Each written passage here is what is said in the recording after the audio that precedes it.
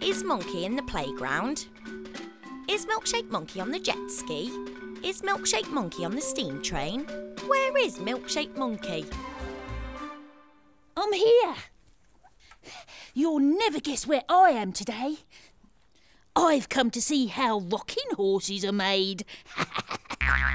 this is Jack, and he is the man that makes the rocking horses. Hello, Jack. Hello, monkey. So, how do you start? What I do is I take the pattern and I place it on the timber. And I take my pencil and then I very carefully draw around the outline of the pattern.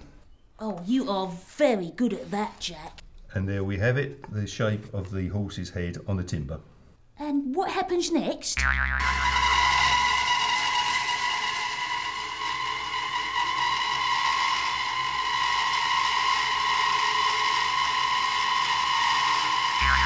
Hey, Jack, it's really starting to take shape now. Yes, and I'm giving it even more shape. What are you using? I'm using a chisel and a hmm. mallet You're taking all the sharp edges off, aren't you? and give it nice round curves. Hmm. Oh, yes. Now it's really starting to look like a rocking horse. What colour are we making him, Jack? Well, first of all, I'm putting grey paint on Okay.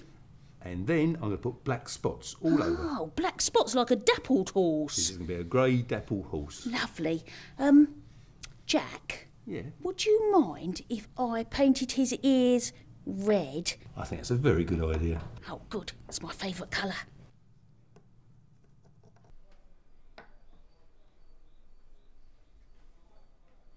There. What do you think? Wonderful. What about his nose? Can I paint his nostrils red too? Yes, please. Looks a little bit like he's got a cold. oh. Oh, yes, paint's dry. Now we can put the head on the body. Well, Monkey, what do you think? Jack, I think he is magnificent.